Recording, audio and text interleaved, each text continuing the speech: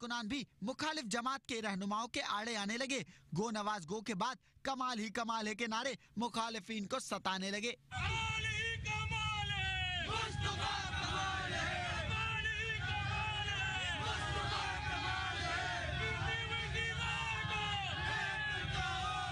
Mayor Karachi Wasim Akhtar नारों की जद में उस वक्त आए जब वो कोरंगी में ताजिरों से मुलाकात कर रहे थे। मुखालिफ टोला नामालूम सिम से आया और खूब नारे लगाता रहा। मेयर साहब भी कुछ न बोले, बस खिसक लिए।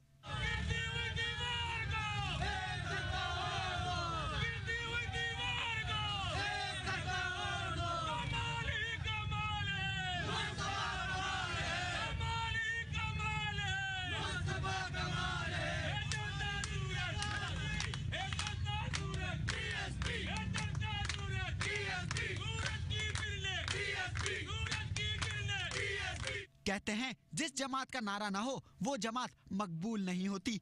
लेकिन अब तो सियासी नारे ऐसे बन रहे हैं, जिससे मकबूलियत के साथ साथ मुखालिफिन को मिर्ची भी लग रही है।